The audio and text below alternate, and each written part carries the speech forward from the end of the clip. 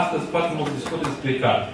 Va exista carte tradițională, va fi doar carte electronică. Și acum în America, în biblioteca Congresului, vorbind cu directorul bibliotecii, cu domnul Billington, îl întreb, ce o să faci? Nu sunteți atât de evoluați în sistemul ăsta electronic, deci nu aveți nevoie de 18 etaje care are biblioteca Congresului. Și el spune eu că nu fiți naivi. Cartea tradițională va fi atâta timp va exista omul. Când niciodată nu poate ști nimic ce se întâmplă cu cartea electronică.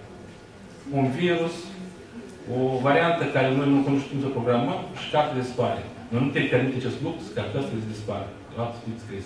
De ce eu cred că noi trebuie să ne orientăm în activitatea noastră pe două căi. O cale tradițională, cartea tipărită, fie și în tiraje mai mici, dar tipărite, și, sigur că progresul tehnic o să îl utilizăm la maxim și să mergem pe uh, uh, varianta de a fi în o bibliotecă performantă și în acest sens. În uh, biblioteca noastră a fost de două cataloge. Deci primul catalog care cuprinde edisiile publicate de bibliotecă până în 2007, al doilea catalog din 2007 până în 2011. Primul catalog a fost publicat de Gernovea Codoa foarte bine și doamna Poligovski foarte bine și acesta îl prevățesc eu, nu atât de bine, dar prezint uh, informația despre uh, cum uh, a activat biblioteca în această perioadă. Vreau să spun că rezultatele sunt remarcabile.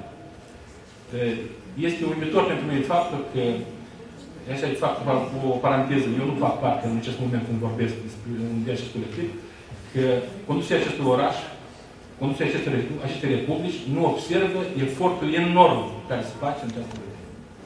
Deci astăzi biblioteca trebuie să fie decorată cel puțin cu ordine republici. O dă că e de vreme. Nu e de vreme. Eu cred că de mult este timpul, fiindcă, uitați-vă, noi doar două cataloge conțin o bibliotecă întreagă editată în cadrul unei biblioteci. Vreau să mă întorc la anul 92. O scurtă digresiune de așa. Nu cunoșteam pe doamna Kulikovski, eram director editor la Universitas, editora era într-o stare grea, dar eu, lucrând în, în bibliotecă și în Biblioteca Națională, mai mult, am ajuns la o concluzie că cercetarea nu poate fi făcută fără bibliografie. Și am observat că acolo există la index mai multe cărți bibliografice sau bibliografii care nu sunt cunoscute de public.